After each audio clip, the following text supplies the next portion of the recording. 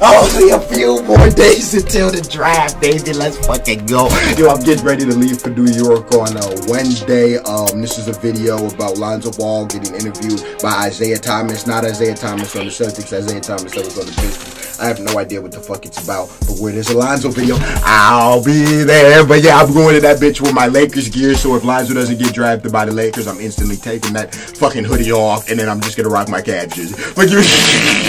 But anyways, I have no idea what the draft order is gonna be. Like I heard, like the Celtics might not take Markelle Fultz at number one. I don't want the Celtics to take Lonzo at number one. We need to get Lonzo at number two. I heard the Lakers are thinking about trading D'Angelo Russell for another top 12 pick. I don't know what the fuck is going on. I just hope that nigga goes to the Lakers. I wouldn't mind seeing Markelle Fultz on the 76ers. That could be fucking lit. But anyways, let's get it started. Jayson Tatum goes number one. Who goes number one if Markelle Yeah. Fultz goes number one? I don't here my whole life. Anyways, Never moved. Uh, both parents always around. right. It's home.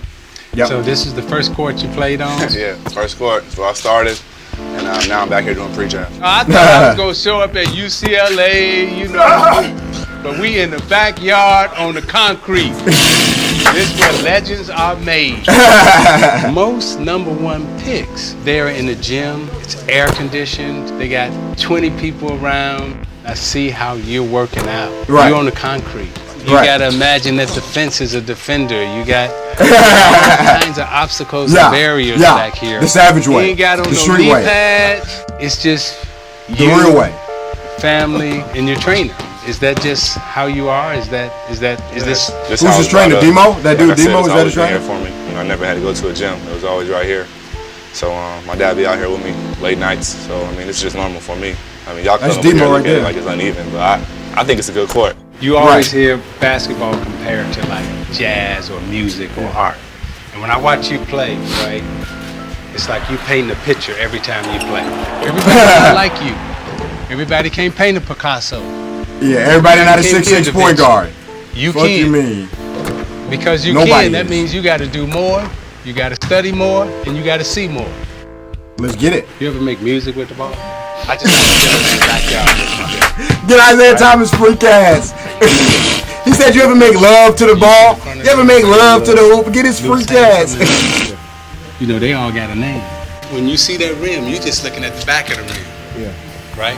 That's like walking through a neighborhood and looking at one house. Ah. Name every, every spot on the rim, and you can get a relationship with it.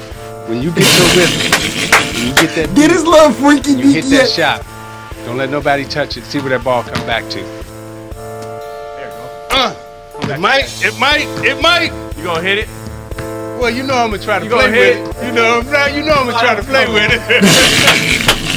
now you starting to feel it. Yeah, yeah, Dance with it. Dance Yeah. with it. Yeah. Yeah. Find the rim. Yeah. Knock it down. Yeah. Bam. Yeah. That might come Yeah. That ball might like you. you talking about that ball might like oh, you? Oh yeah. Curve a little to the left. So you set the standard in terms of the work. Cool ass. Yeah, I try to. You know, I'm the oldest brother, so my dad always told me, you know, set the way for your younger brothers.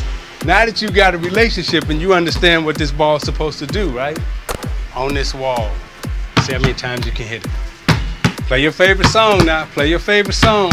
What advice did you get from mom and dad? And Damn, I ain't never done that what was the before. discussion about leaving school early and everything else? Yeah, They we already always knew. I was gonna be there one year. Right, Coach Allen nigga. was cool with that. Nigga, if we didn't need to go, we wouldn't have Yeah, went. just tell me to stay Fuck is focused. y'all talk about? Attention What on the focus fuck? and Get to you. Yeah. What the hell? If we could have pulled the LeBron, The we wouldn't have went. You put what the names hell? on the move that you got.